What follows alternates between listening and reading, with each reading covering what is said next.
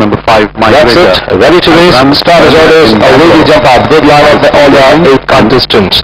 And composure being pushed to the front. we Leads towards the fence. Handy second is. Shakespeare followed by Mandy from the outside draw runs three deep. They followed then by Symbol of Stars. Now joined on the outside by Pamela. Another two lengths behind his own battle towards the fence. Silver Dollar followed by Chinese Thought.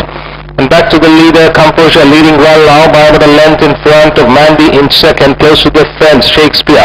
Another two lengths behind is Pamela, close to the fence is Sy- Symbol of Stars as they start to negotiate the turn. Racing next on the outside, own battle, followed by Silver Dollar and Cheney's daughter still last as they start to negotiate the turn.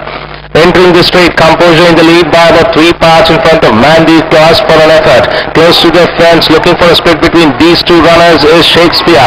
Another five lengths behind is Pamela, followed by Own Battle. Rest are far behind. Inside the last 250 now, and the rider of uh, uh, so, Silver Dog Composure has lost his uh, uh, and then is followed by Mandy. These two get on to fight the finish. Bare effort by Akshay Kumar.